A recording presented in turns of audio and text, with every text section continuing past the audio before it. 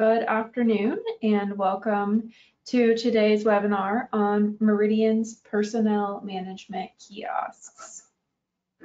We're going to start off with just a brief overview of Meridian, who we are, what we do, um, and then we'll jump into the hardware and the software aspects of the PMK. We will have a question and answer session at the end. Um, if you have any questions that you've already brought with you to the webinar, feel free to start submitting them whenever you're ready.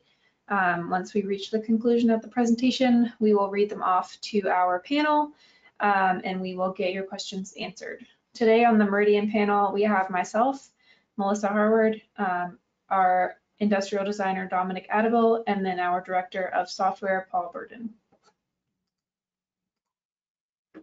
Starting off just a little bit about Meridian. Meridian is a fully integrated manufacturer of indoor and outdoor kiosks, interactive digital signage, and self-service software. We've been in the self-service solutions and kiosk industry for more than 20 years, and we develop all of our products and services under one roof.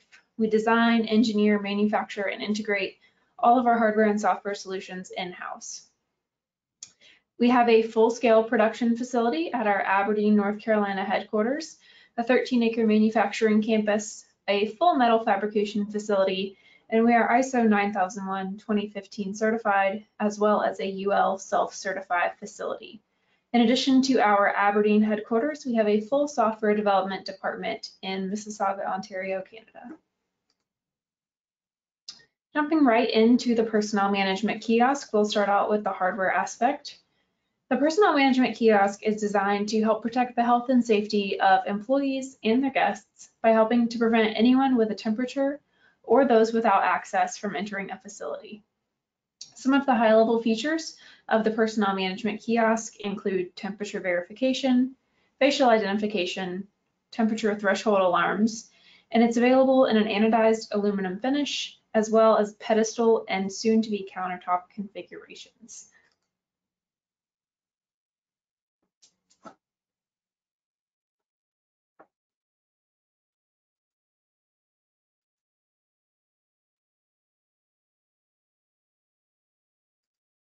Seem to be having a bit of a delay with the presentation on our side. Give me just one moment and I will get that resolved.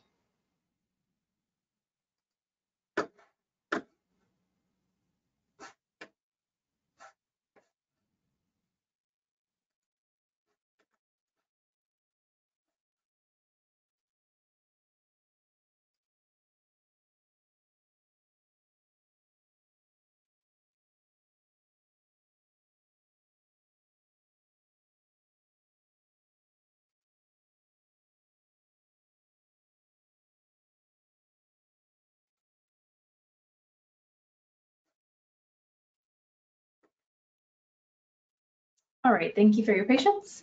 Um, so as I mentioned, the hardware aspects of the personnel management kiosk, it's currently only available in a pedestal format, which is what you see on your screen right now. Um, so it's a dual-sided unit with one side, as you can see, um, is rounded and the other side is flat. It's also available with a graphic wrap option. Um, and if a graphic wrap is something that you're interested in, whether you're looking to display your logo or some messaging, uh, the graphic templates can be downloaded on our website. We will soon be offering a countertop version as well. Um, like the freestanding pedestal version, it is also dual-sided, rounded on one side, flat on the other. Um, and it too is available with a graphic if that is an option that you are interested in. The software aspect of the personnel management kiosk. Each board level, each Personnel Management Kiosk is equipped with a board level solution. Some of the features of the board level software include LAN and Wi-Fi connectivity, FCC and CE certification, a 0.9 degrees Fahrenheit temperature variance, the ability to recognize up to 20,000 faces, and the ability to integrate with voice prompts. So if you uh, do get a personal management kiosk and you choose to utilize the board level solution that is equipped on the kiosk already, this is what the back end of the device looks like. Some of the temperature settings that come with the device include a body temperature test, which you are able to turn on or off to disable the temperature reading feature on the kiosk. A compensation temperature calibration, which offsets the read temperature and can calibrate the, the device to account for ambient or environmental temperature changes. An alarm threshold, which can be displayed in degrees Celsius or Fahrenheit and indicates the value at which a temperature alarm is triggered. A body temperature alarm, which dictates whether or not an alarm will sound when a user exceeds the temperature threshold. Mask detection, which can also be turned on or off. If users check in without wearing a mask and mask detection is on, they'll be denied entry even if their temperature is normal. And finally, stranger mode. When stranger mode is off, strangers or guests, visitors, however you want to classify them, will be denied access and only registered users will be allowed to enter. The board level solution is also equipped with facial recognition software. Employees or other approved visitors can be easily added to the FACE database in a matter of seconds. Some of the informational fields that the device collects includes name, type, whether that's staff, visitor, etc., an expiration date, as well as a picture. Coming soon, Meridian will be offering M0 Manage for our personnel management kiosk. M0 Manage is Meridian's remote management software, and it's been in our software offering for a number of years, um, but it's currently in development for use specifically with the personnel management kiosk. Once released, it will offer a variety of enhanced features that will complement the existing board level software that we just discussed. M0 Manage will be accessible from any computer connected to the internet, and it will allow kiosk administrators to utilize the software to remotely manage all of their personnel management kiosk deployments from one central location. Once released, some of the features of this software will include the ability to bulk upload and edit a list of employees and their pictures, log temperatures, send alerts, retrieve reports, view temperature scans and images, check PMK endpoints, determine if kiosks are online and connected to the server, change in-app settings and configurations, add kiosk groups, and administrators will be able to access a dashboard portal with rolling security view and real-time scans and updates. That is the conclusion of our overview of the hardware and software uh, currently available on the personnel management kiosk. As I mentioned, M0 Manage is currently in development, um, but will be rolled out soon. If you do have any questions, um, feel free to start submitting them now, and I will read them out for our panel to address and answer.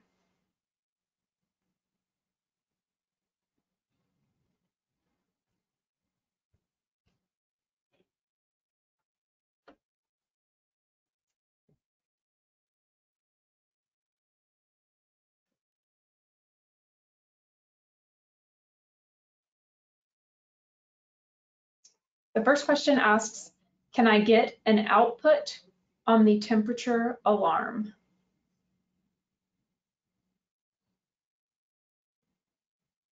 Yeah, so there's a couple of options for the temperature alarm. Uh, if you have M0 Manage, uh, you'll be able to uh, send an email as an output uh, to notify you if uh, if there's an alarm condition. Uh, there's also a sound uh, that's generated by the kiosk in alarm mode, so it would be an audible alarm. So those are the two outputs.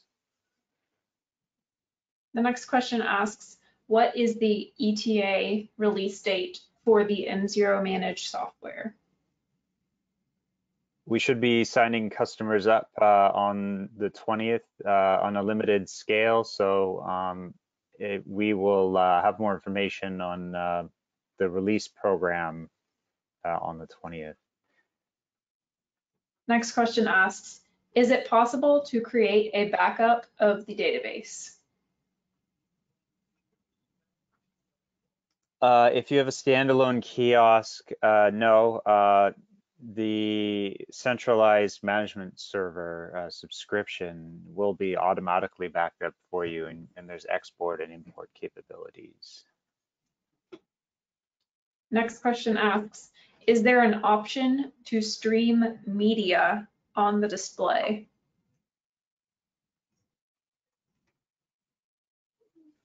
There is uh, an attract loop uh, that is displayed when the unit is in standby, but uh, currently it's not customizable.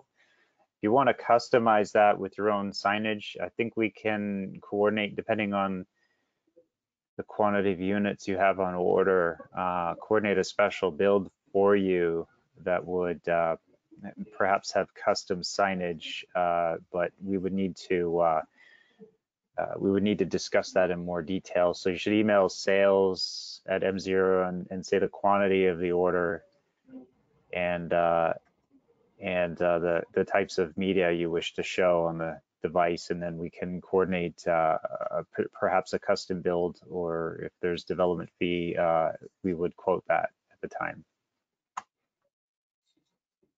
Next question asks, can we attach an external display as a duplicate? Uh, you can uh, install some licensed screen sharing capabilities on the device uh, if you wish. Uh, that would uh, mirror the screen, uh, so that that's one route. There's there's packages available that that does that. Next question asks, what are the data export options beyond an SD card? If it's in M0 Manage, it can uh, be downloaded into an Excel spreadsheet. So it'd be uh, something you can export uh, from the centralized managed server. Also, it's available by APIs, and you can also browse uh, the data and search and organize and sort through the browser. Next question asks, is there the ability to apply a customer logo? Yeah, Uh, so yeah, there will be uh, through M0 Manage. Uh, uh, however, uh, you need to have the uh, the information bar enabled, which is typically off. So um, by turning the information bar on and then using the M0 Manage subscription, you can set a logo. From a hardware perspective too, if you would like a logo on like a graphic wrap or something, um, that isn't also an available option and those Yeah. templates are available for download on our website. Um, our sales executive can help you with that process as well. The next question asks, what exactly is stored on the PMK and how long is this data stored? It depends on the uh, configuration of the device. Uh, if you have um, guest record uh, off and you don't have any employees, then nothing is recorded. Uh, if you have uh, guest record on, it will anonymously log um, the, the entry uh, time and data um, related to that that person. So it would be a photo of the time of entry and the temperature. So you can toggle that mode on and off, uh, stranger record on or off. So if stranger record is off, then it won't record any strangers. But if you use employees, it will log employees. So their name, their PIN, um, the photo at the time they entered, and the temperature which is data that can be exported. Uh, as for how long that data appears there, depends on your usage because there's a one gigabyte uh, storage history. So that's a rolling history. So it depends, uh, it's about 3,000 uh, entries and that can be exported again. Um, as, as that fills up, it'll roll and overwrite the previous entries. So uh, it's perpetually a gigabyte of history there. So it, it could be a day or a week of history depending on how many people pass through your facility. The next question asks, how does the back end work for door access? There's three ways. Um, one is that you can connect your uh, your PMK device uh, via relay, um, which is a two-wire output. It will close a circuit, which uh, signals a door or a gate to open. Uh, there's also uh, a Wiegand output interface that um, can be connected to uh, a door controller uh, that outputs uh, a- a- an ID of the person recognized. It needs to be an employee to output. So it would output the employee ID. The next question asks, how is this affected by HIPAA? You'll have to uh, discuss this internally with your compliance officer for HIPAA. Um, we don't have any HIPAA certifications and uh, we can answer any questions you have about HIPAA. I think there's some FAQs on our site, but uh, you'll have to um, sort that out on a base, uh, individual basis. Next question asks, can I connect my reader to the input and with a valid image, temperature, and mask, and then have it pass through the Wiegand information? Uh, the only thing that the Wiegand will transmit is uh, 24 or 32 bit output. Um, that is either the employee ID or a badge if you have a, a, a, a, a IC card reader uh, option in the device. Uh, so it's only those two things and it's transmitted only if there's a successful temperature scan. So um, that's the limit of what you can do with that uh, particular integration. Next question asks, how can I download M0 Manage? Or is this something that needs to be purchased separately? It's something that needs to be purchased separately. Um, there is an on-premise or a hosted option. The on-premise will be available at a later date. Hosting will be uh, launched uh, uh, on the 20th uh, for uh, on a limited scale, and then broader scale shortly following, and then subsequent to that will be uh, on-premise options where you can install pre-configured virtual machine in your in your facilities that uh, that you can subscribe to license uh, the connections from your devices to uh, uh, to connect there. Next question asks, is network connectivity required at all times or only during updates? When it's a standalone, it's generally not required at all. Um, uh, for updates, you would use a USB jump drive anyway, so it's not really required. Um, if if you have M0 Manage, uh, it would it would need network connectivity constantly uh, in order to connect and, and receive updates. Next question asks, if the unit crashes, can the database be fully restored from the cloud backup? Yeah, so there's synchronization if you have M0 Manage uh, subscription. So the centralized database, and then each time the device starts up or you add a new device, it will synchronize your employee database with the local database. Next question asks, how do you power the device on? Uh, I believe it's just a regular uh, 120 volt connection. So you just literally plug it into the wall and it will power up. It's a pretty easy setup process. Next question asks, what is the production delivery lead time for the kiosks? Our current lead time is 45 days from the date that Meridian receives a purchase order.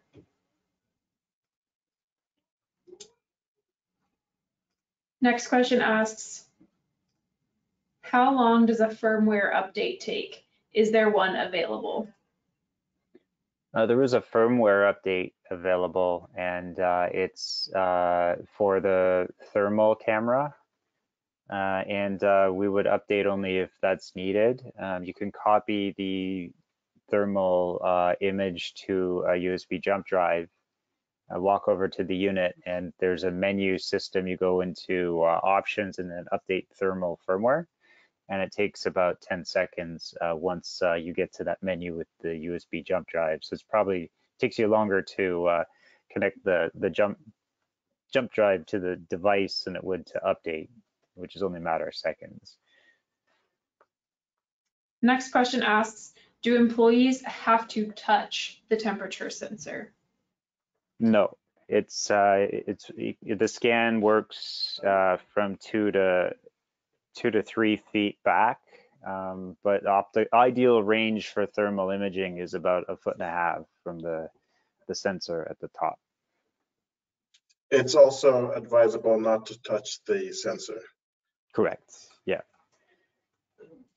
Next question asks, where can we find the screen mirror software? Uh, one of them is it's a licensed product, so you'd have to um, you'd have to purchase a commercial license, but it's uh, I believe it's uh, use let me Vysor V Y Z O R.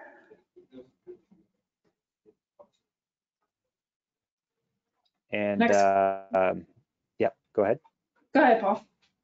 I was just gonna say, yeah, it's uh, it's from the Chrome store. You can you can download that Vysor. And you need to be on the local area network for that to work. Uh, Next question asks about exposed UI ports. Are there any available? uh, uh, UI ports, so I guess I/O ports. Um, there's uh, a couple of interfaces available. Um, the Wiegand uh, a relay, there's actually a serial port um, through configurations. You can uh, enable some data to come out of a serial port as well. Um, it's not widely used. Um, there is an API as well through M0 Manage, so you'd be able to access data from there. I, ho- I hope that answers the question. I'm not too clear on what they mean by uh, UI port. Next question says, you mentioned that there were approximately 3,000 images saved on the board before it begins to overwrite. Is there a Right. way to separate company employees versus guests to avoid overriding employees that are registered in the system? No, okay, so just to clarify that, there's there's two separate storage areas.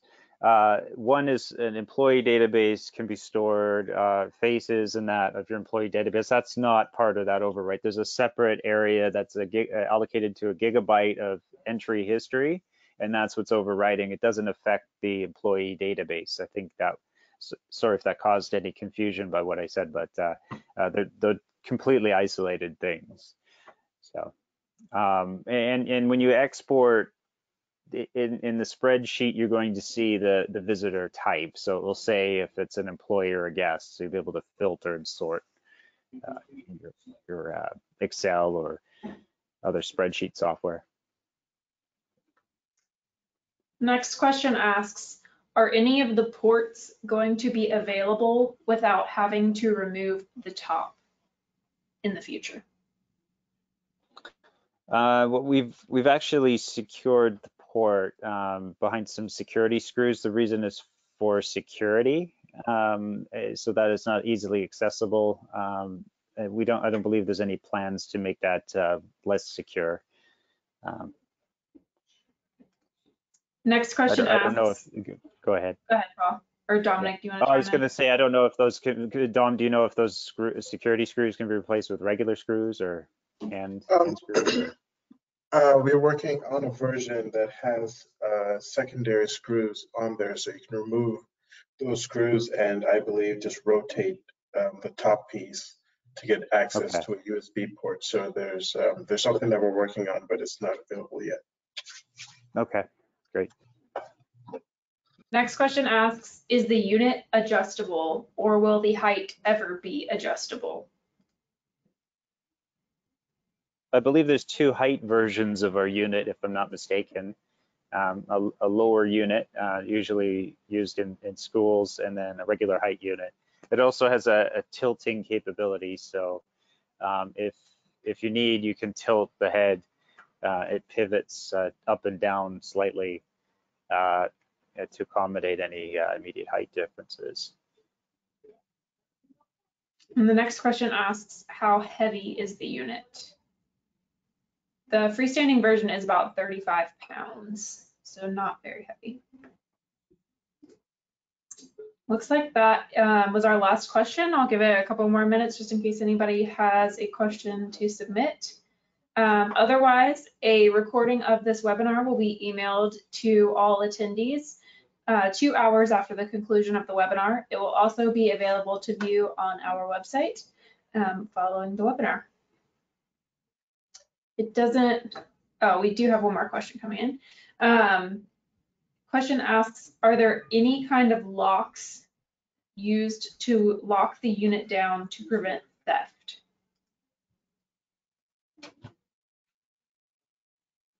Um, We don't send it- them out with locks, but on the base plate, you'll see there are two small holes on the side that you can actually bolt it down. I believe some customers may be using um, bike chains or something of the sort, but you can bolt the base plate down if you need.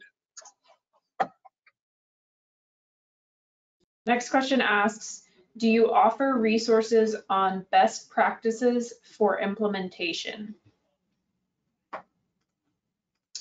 Um, we do have recommendations as far as um, using the unit only indoors, um, what what types of locations uh, are the best places to place the unit, um, and those are available on our website. There is also an ISO document, I believe, ISO slash TR one three one five four, two thousand seventeen, that um, includes some guidelines for um, organizations when they're using uh, uh, equipment such as ours. Dominic, can you repeat that ISO? Uh, they Yes, asked for you to repeat it. it is ISO uh, slash backslash TR one three one five four. So. Thank you.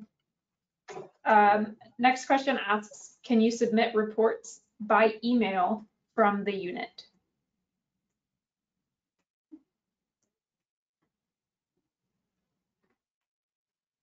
Uh, receive an alert by email? Is that what Can I you heard? submit reports by email Oh, from, Reports, no, you can, um, if you have M0 Manage, uh, the only thing you can do is uh, log into the portal and then export. Uh, um, We don't, we don't transmit or have any plans to transmit uh, this type of data uh, through any means such as email. all right, and that was the conclusion of all of our questions. Thank you to all of our attendees for joining, and thank you to our Meridian panel for being here as well. Um, if anyone has any further questions that may come up later in the day, feel free to email sales at m0.com, and we will make sure to get your additional questions answered for you. Thank you all for attending.